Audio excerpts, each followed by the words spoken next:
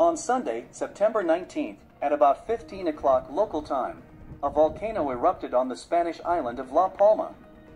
It is one of the Canary Islands in the Atlantic Ocean with a population of about 85,000.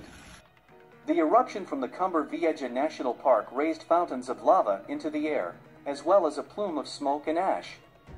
A magnitude 3.8 earthquake was recorded before the eruption, and more than 25,000 tremors have occurred in the Cumbre Vieja area this week.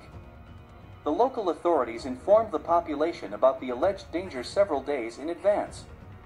More than 5,000 people were evacuated from the cities of Los Llanos de Aridane, Tazacorte, and El Paso to protect them from the lava flow, which moves at a speed of 700 meters per hour.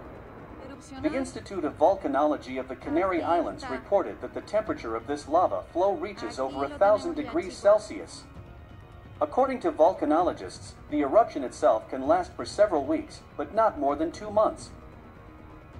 The president of the Canary Islands said this morning that significant material damage is expected.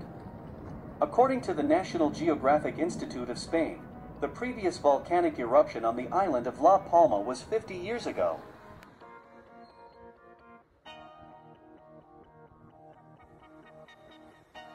tôi được